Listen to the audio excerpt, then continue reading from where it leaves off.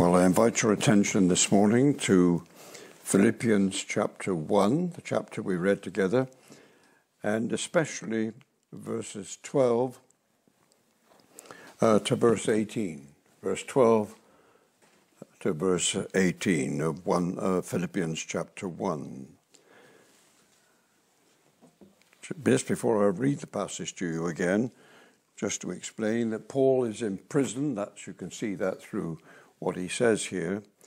He's in prison, and it's his reaction. Uh, he's writing to the Philippians about his reaction to being in prison.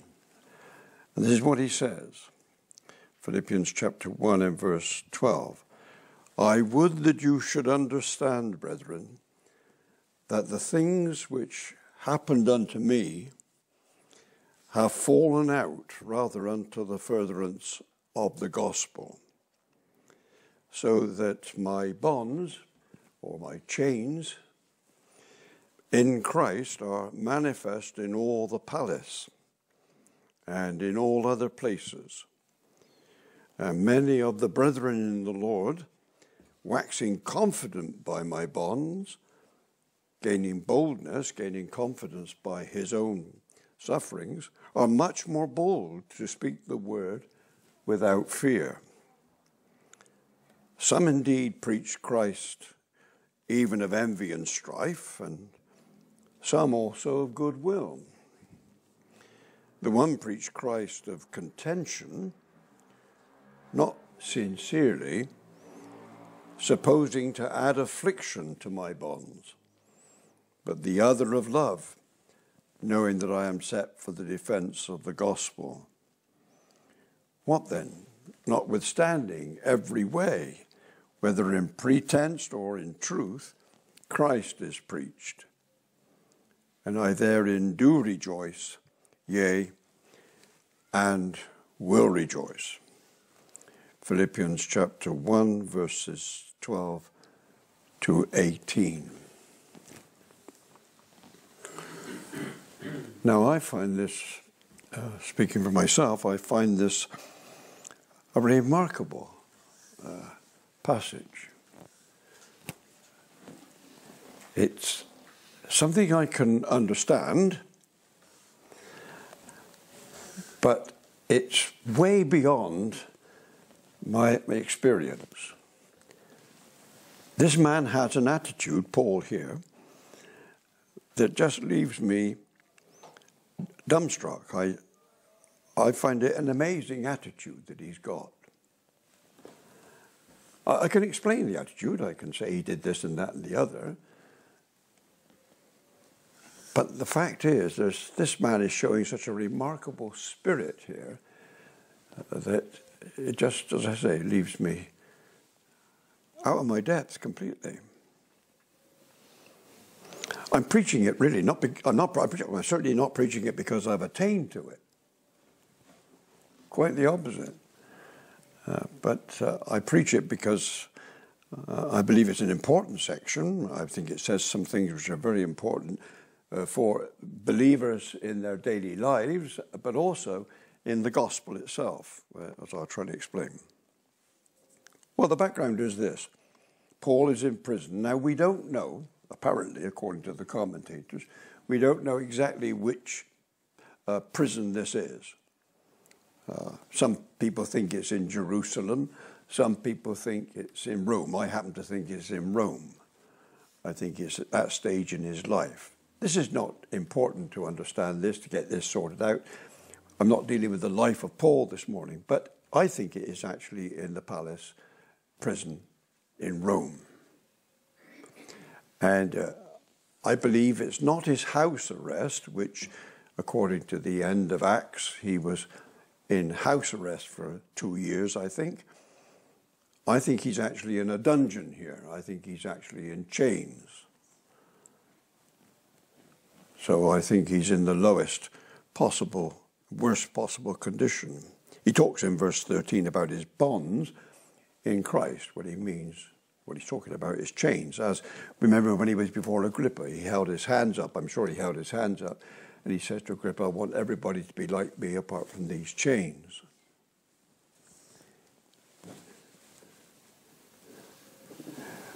And it's his attitude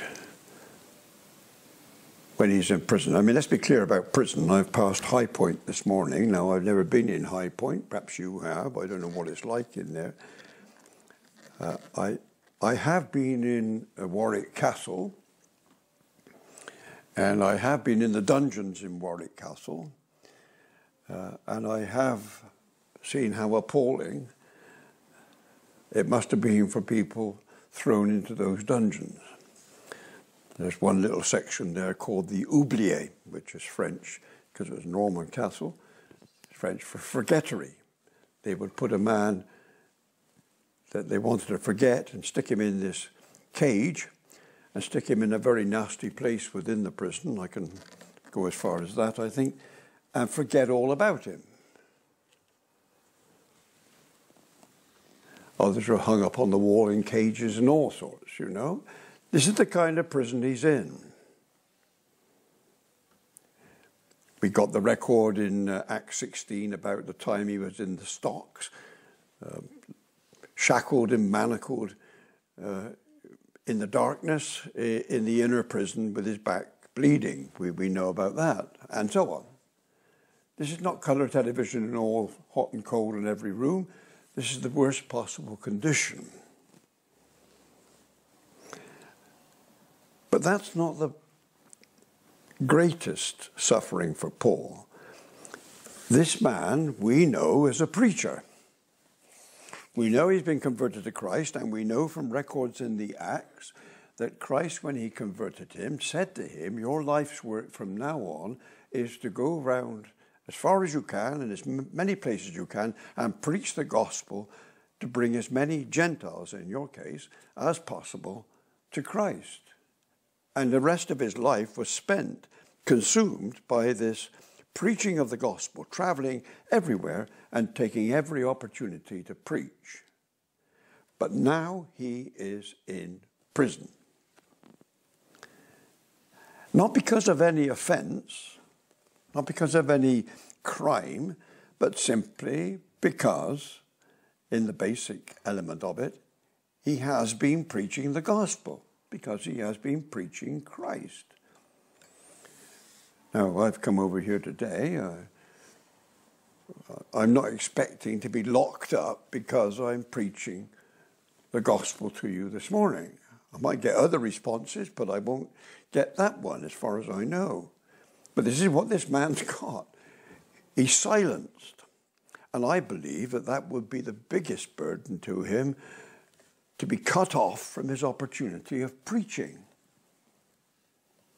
His life was consumed by it. He, he says to the Corinthians, Woe is me if I preach not the gospel. I am determined to preach the gospel, he said. I'm determined to preach nothing else but the gospel, to preach Christ and Him crucified. As I say again, woe is me. I'm a miserable man. I'm a wretched man if I cannot preach the gospel. John Bunyan, when he was put in Bedford jail for 12 years, it wasn't quite so bad as that, actually, but he was in Bedford jail on and off for 12 years. He had a certain amount of liberty, I think, but nevertheless, he was in prison, uh, and that was just simply because he would not use the prayer book. John Owen and other late Puritans, again with Bunyan the same time, they were silenced because they were Puritans. They were stopped preaching. And Samuel Rutherford, another Puritan, a Scottish man, about the same time, he was silenced and put in prison. And he wrote about what he called, I wouldn't use his language, but he talked about his dumb Sabbath when he was not allowed to preach. These men felt the frustration of that.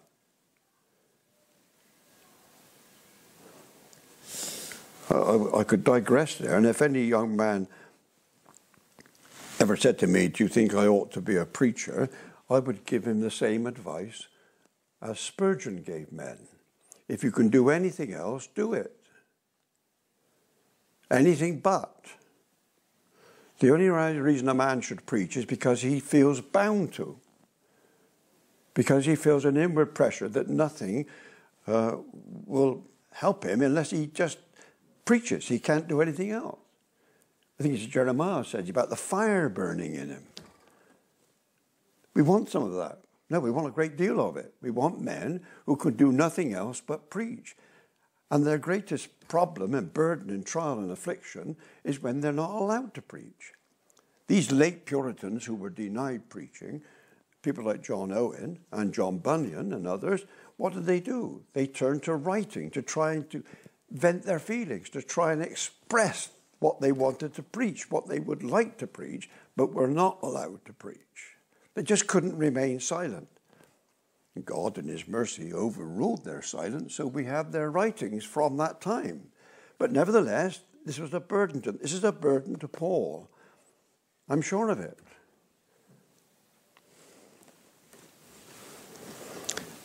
But it's his attitude to that.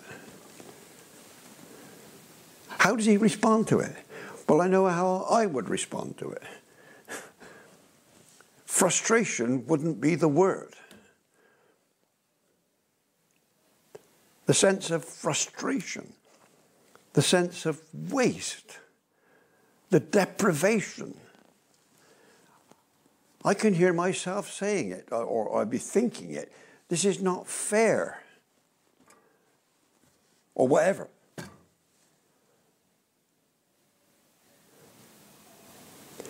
Surely he was tempted to think, I'm locked up here and I can't preach, and yet other people, perhaps who can't preach as well as Paul could preach, they had the opportunity. So why am I silenced? I can hear him. I can hear feel, I can feel for him. Normally, uh, I, I have to say I'm sympathetic.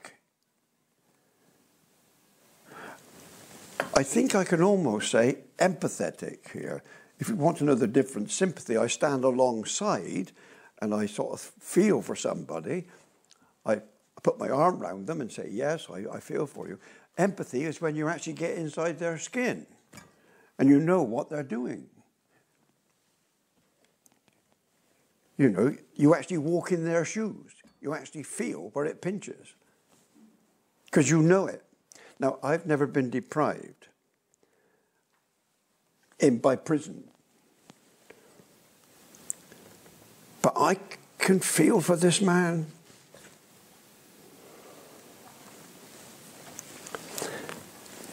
What is more, he's not only deprived, he knows what's going on outside the jail. And some of that could have put salt into the wounds that this man has been inflicted with. Some of the events outside could have caused him real anguish of spirit. We'll come to that. Now, let me just come to this before I go any further. Perhaps I should have raised this before. Some of you may be saying, well, this is all very well, but there, there aren't many preachers here, and, uh, you know, if, okay, this is a bit of a specialist subject, isn't it? No, no, not at all. Every believer, and if you're a believer in the Lord Jesus Christ, every believer is a preacher. Every believer is a priest, in fact. Every believer is a king, according to my Bible the priesthood of all believers. We are all called as believers to witness in some way or another, testify to the gospel of our Lord Jesus Christ. So it's not just men who stand in pulpits, whatever that might mean, or stand on a dais or whatever. Every believer comes into this somewhere. In any case, it's not just simply the preaching. Every believer goes through experiences of frustration, deprivation, a sense of waste. Well, perhaps you haven't got there yet, but if, when you get to my stage in life, you look back and you can have a real sense of waste. The water's nearly all run out of the bucket. And what has it amounted to? And this kind of frustration and deprivation and anxiety and stress can come to us all in various ways. Afflictions are the lot of God's elect. I think it's Gadsby, isn't it? It might be, some of you will correct me. Is this the lot of God's elect? the hymn writer. Is this the lot of God? Is this what uh, believers have to expect? Suffering, frustration. Paul says yes. He says it over and over again. All who will live in godly in Christ Jesus will meet troubles and trials and difficulties. The trial of our faith and so on. I've got many texts like this, but I'm not speaking on that this morning. The fact is, though, so it's not just for preachers, but any believer who's in a suffering sense or uh, a time of affliction or uh, deprivation or anxiety or fear.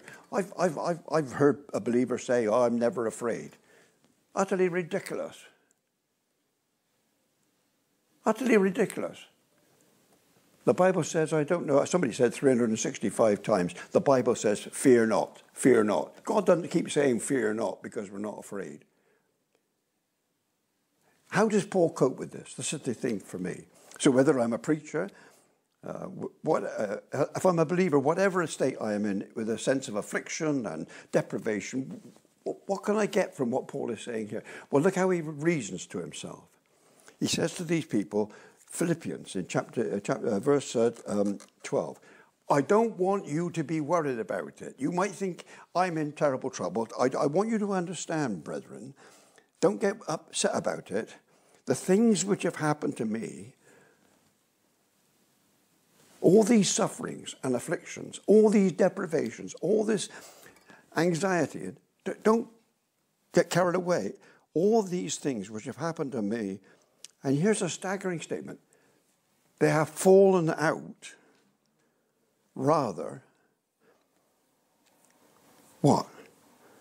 To the furtherance of the gospel. Now, don't let me just chunter on and let that wash over us. Here is a man who's got chains on his wrist, He's shackled or whatever, I don't know, sore. It must be bleeding. He's deprived from preaching, and yet he can say all these things, and the worst to come, there's more other things to come, we'll see in a moment. All these things have actually worked out for the advance of the very gospel that they thought they were stopping. Let's say that again. They thought, and that's of course the devil's behind it, the devil thought that he was stopping Paul preaching. But Paul says, rather than, well, he has actually stopped me preaching, but what's happened is, although he's kicked the fire and thinks he's put it out, he's made the sparks fly everywhere. The text that comes to my mind is Romans 8. All things work together for good to them that love God. Paul wrote that to the Romans and he's living it out here. He's saying, What's happened here? I'm in prison. I'm deprived. I can't preach. That's bad. That's bad. That's bad. But the devil's overreached himself because the truth is, these things have all combined together actually to advance the very gospel that they thought they were stopping. Well, how's that? Well, verse 13. The fact that Paul, this Jew, is in this palace jail down in the dungeons, people are talking about it in the palace. He says so. So that my bonds in Christ are manifest in all the palace. My chains are spoken about throughout the palace.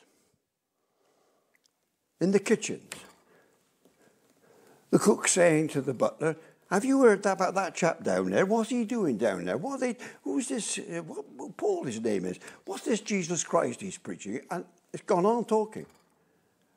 And the kitchen maid's drawn in, and she said, "Yeah, I, I my, my, sister told me. I, I heard about it." And the soldiers are talking about it. They have to sit next to him, you know. Read the Acts of the Apostles, and you'll see these soldiers sit next to these prisoners sometimes, keep them locked up. They come off duty and they say, Who's that chap down there? What, what, what's he done? He's an odd bod. What's, he, what's this Jesus Christ they're preaching about? What, what's, he, what's he there for? He's gone up to the cabinet room in the palace. He's gone up to the secretariat. He's gone up to Caesar himself. They're all talking about it, he said. They're all talking about Paul? No. Well, they are.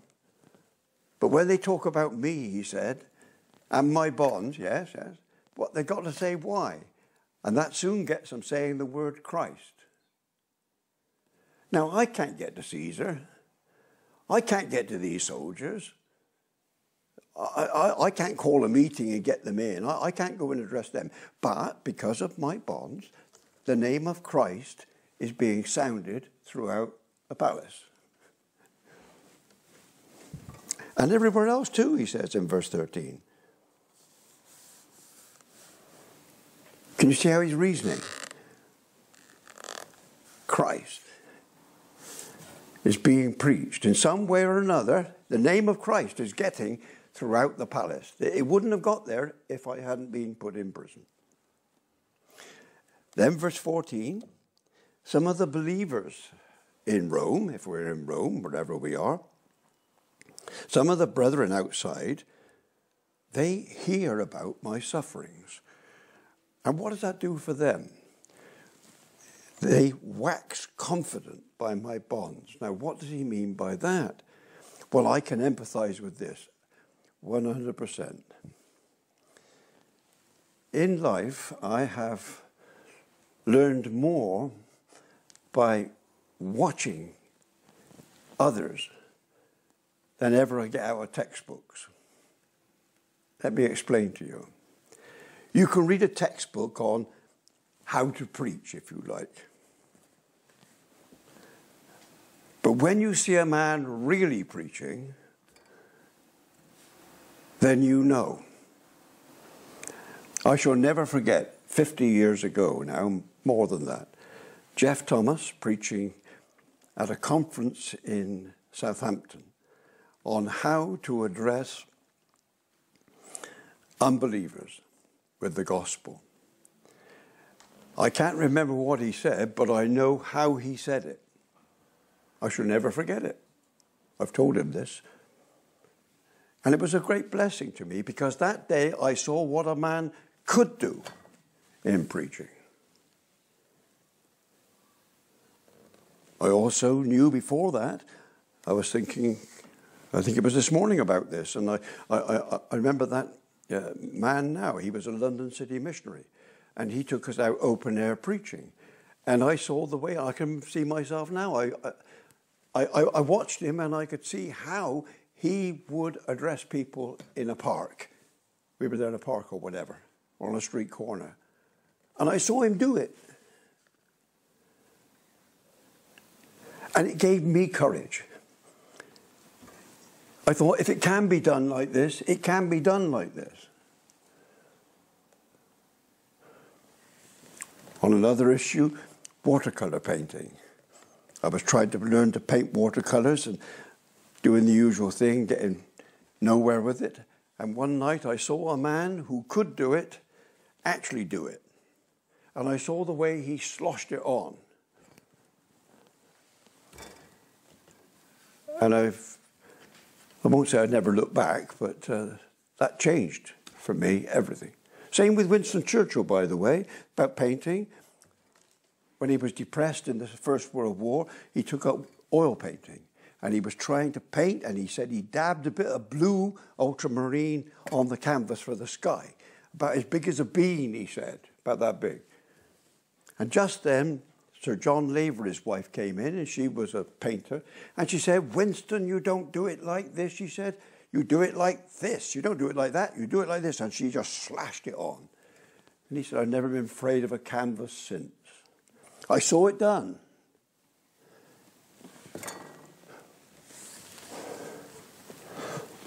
One thing I admire about Martin Luther, the great thing I admire about Martin Luther, he made many bad mistakes, tremendously bad mistakes. But the thing I admire about Martin Luther is this can you put yourself in his position? In the early 1500s. There he is. He comes across in the Bible a text of scripture in Romans that tells him we are not saved by our works, but we are saved by the grace of God, by the mercy of God, by the love of the Lord Jesus Christ and his precious blood, and so on. And he went to that text and he followed that text and he obeyed that text, even though it set him against the might and tradition and history of Rome. Can you imagine one man standing against the might of Rome because he sees Scripture say something? I'm a number two in life. When I can see somebody else has gone ahead of me, I can follow. It's the pioneer that I admire, the man who goes first. I don't know how many people have climbed Everest since, but think of the courage of Tenzing and Hillary in 53. Think of them getting up there. Think of the men that went before, people like Mallory who died on Everest. Think of the men who the pioneers leading ahead. They give courage to the men that come behind. Now, this is what Paul says. There are people outside, they hear that I'm suffering. They think, well, if he can do it, if he's willing to pay this price, I'll go and do it. And they wax bold. And praise God, he says, for it. I rejoice in it. I can't preach, I know. Perhaps these aren't such good preachers as me, but okay, I rejoice, he said, that they are preaching because they've got courage from me. This is what he says.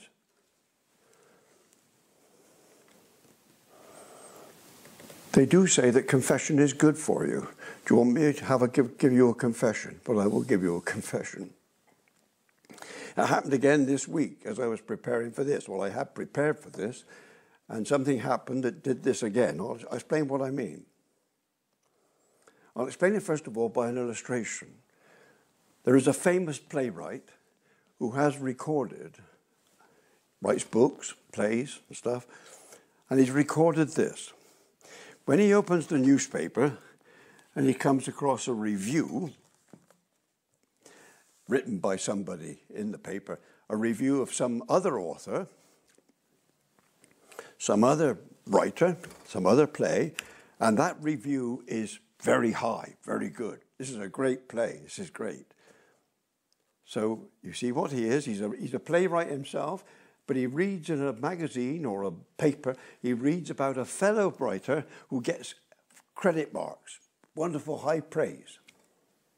This writer I'm talking to you about, talking to you about, is honest enough to says that says this, I feel a pang. What pang? Jealousy. Somebody else has got the praise. Why can't I have it? Now, he's honest enough to admit it.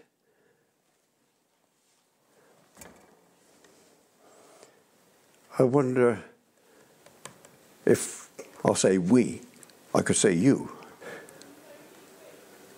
are honest enough to admit that. You arrange flowers, and somebody else gets a bigger mark than yours. You play the piano, or whatever it is, but somebody gets a higher grade than you. It's not always easy, to rejoice in the success of others, is it? It's not always easy to rejoice in the success of others. I'm not praising this, I'm confessing it. What I like about Paul here, which I can't understand, he can rejoice in the success and the prosperity of others. They have liberty, they're preaching, I can't but I still rejoice. That's staggering, you know, to me. I know we should love others as ourselves. This man loves others better than himself. Hasn't stopped. He knows that some of these professed believers outside who are preaching are doing it for the wrong motives. Now, some are doing it for the right motives. They do out of love. They do it, he says so in verse, um, verse 15. Some do it because they, they're boldened by my sufferings, they, they're, they're, and I'm glad about that. But you know, he said some of them are doing it to add affliction to my bonds.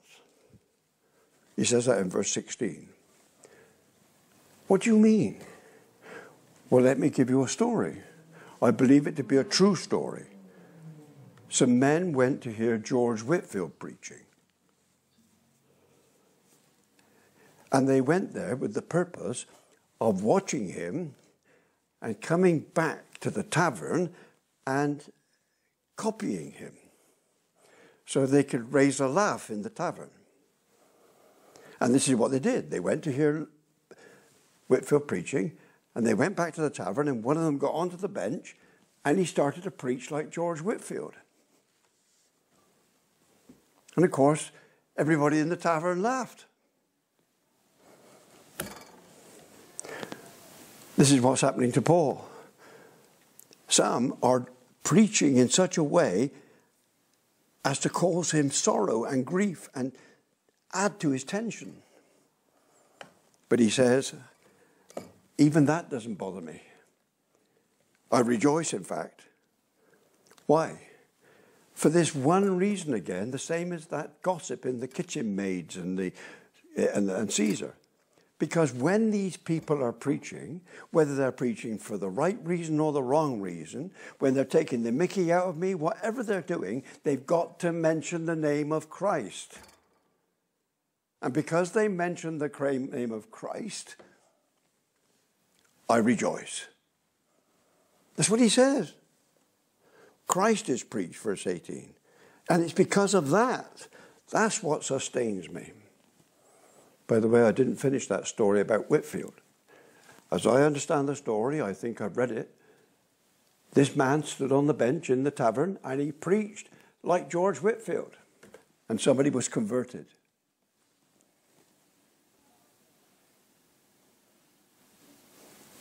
The devil overreaches himself. Whitefield couldn't preach in the tavern. That man would never have gone to hear Whitefield. But he heard him in the tavern from an idiot, yes, but he was converted all the same. I'm not excusing the taking the mickey, I'm not excusing all the rest of it, but I am saying that all things do work together for good. And Paul is rejoicing in this. How did he get here? How did he get this? This is what he writes in the fourth chapter. This is what Paul writes to the Philippians in the fourth chapter. And he says this, verse 11 of chapter 4 I have learned, he said, whatsoever state I am, in whatever state I am, therewith to be content. That knocks me back. Have you learned that? I haven't learned it yet. To be content in every state. I know both how to be abased and I know how to abound. I'm able to be full, I'm able to be hungry, abound and suffer need. I can do all through things through Christ, which strengthens me.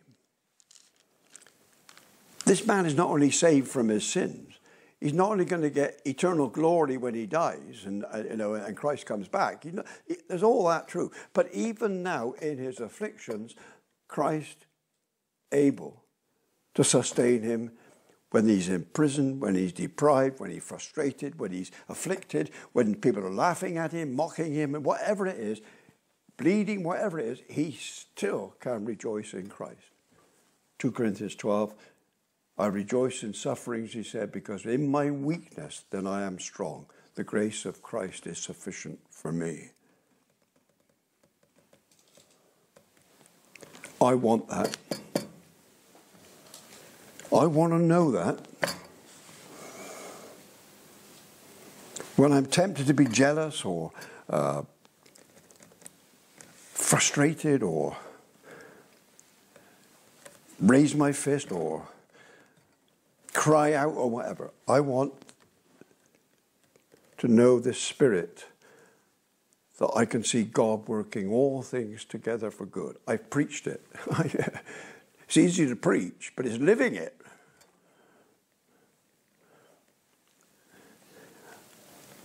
I have learned in every state to be content. I, I haven't got there yet.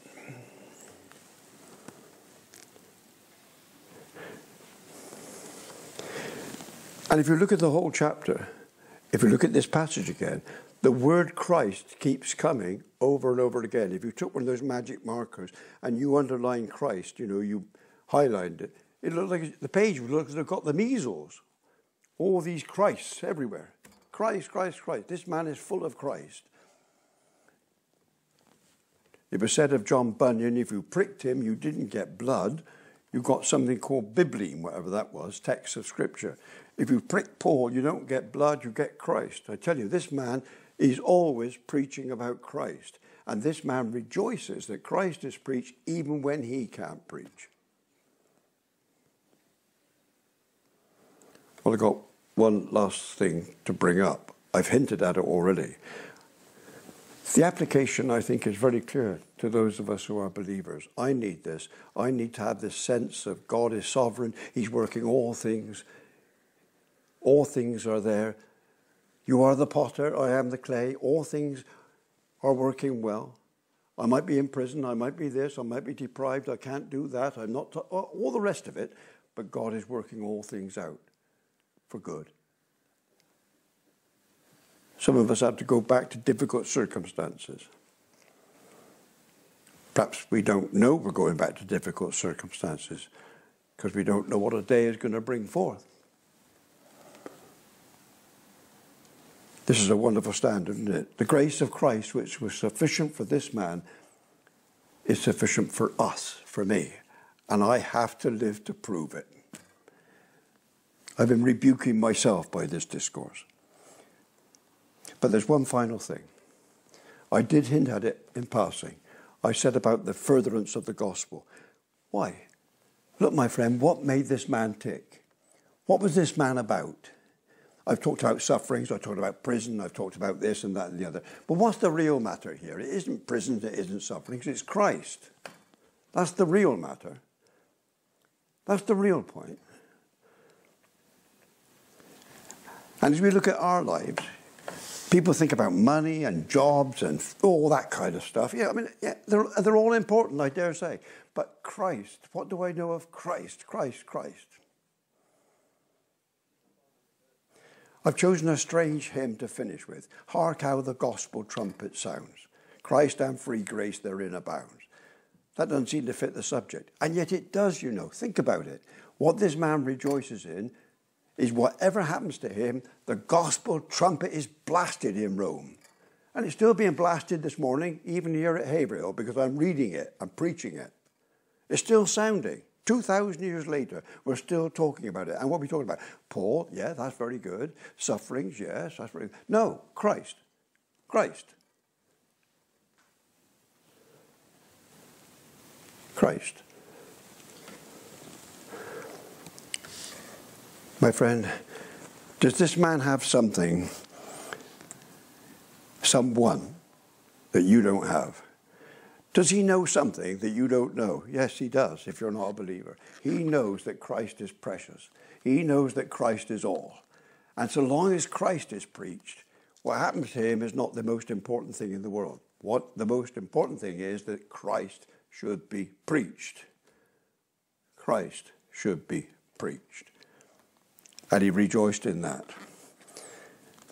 Well, I found this passage remarkably challenging to me. I hope you have found it challenging. It's remarkably comforting, though, too, for the believer. May we, as he says in verse 21, for me to live is Christ, yeah, and to die is gain. Whatever comes, it's all for good.